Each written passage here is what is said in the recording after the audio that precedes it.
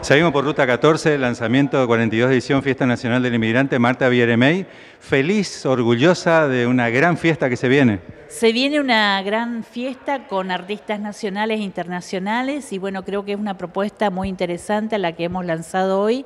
La presencia de Carlos Baute, de Iván Noble y Roger King para los jóvenes fue una propuesta que veníamos trabajando desde el inicio del año y creo que bueno, en este momento tenemos la, esta, esta gran anuncio que lo hemos realizado hoy y más todas las propuestas que se vienen, tanto los ballets, tantos invitados que vienen y creo que va a ser un año muy especial donde volvemos a, retomar la presenciabilidad y esa, esa, eh, esa gana de trabajar y ese esfuerzo que hemos puesto de la Comisión de la Federación de Colectividad, de los presidentes de colectividad y todo el equipo que estuvimos trabajando para llevar adelante esta 42 edición de la Fiesta Nacional del Inmigrante del primero al 11 de septiembre. Lo hablaba recién eh, eh, al aire por la radio, eh, se nota el, esfuerzo del grupo de trabajo, en el caso tuyo una luchadora, la primera vez que Federación tiene una mujer de presidente también y se está notando los resultados, ¿no? un trabajo en equipo. Sí, justamente es el objetivo desde el inicio de lo que conformamos esta comisión de la Federación de Colectividades, trabajar en equipo y fortalecidos para poder lograr los objetivos también, porque muchas veces eh, los objetivos vienen en camino y bueno, tenemos que ver todo y analizar cada una de las situaciones que se van presentando y bueno, elegimos en esta oportunidad estos artistas que queremos que estén en nuestra fiesta nacional del inmigrante.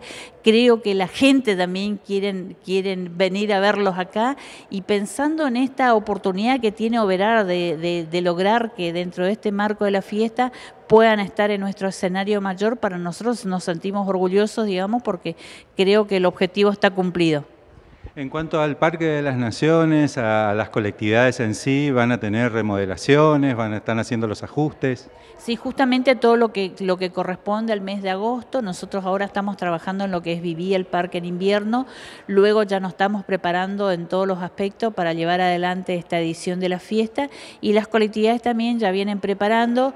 Por eso el motor ya iniciamos ahí a partir de ahora del mes de, de julio, justamente para de esta, de esta manera también ir enfocando en todo lo y proyectando todo lo que nos hace falta para que esta edición sea exitosa y fundamentalmente queremos contar con, la gente. ¿sí? Nosotros pensamos en la gente y nuestra proyección es hacia la gente porque creo que el parque eh, cada vez está creciendo mucho más, es un atractivo turístico que se está destacando acá en Oberá y es un ícono ya de, que puedan venir y disfrutar de, de la arquitectura de cada una de las colectividades en este caso son 15 colectividades más el pabellón argentino, pensar también en estas 13 hectáreas donde se instalan una diversidad de propuestas y creo que este es el análisis que fuimos haciendo y también fuimos haciendo el análisis de las ventas eh, de entrada general y las entradas también diferenciadas, que esto nos permite a nosotros que el público también que quiera ver un espectáculo a nivel internacional lo pueda hacerlo.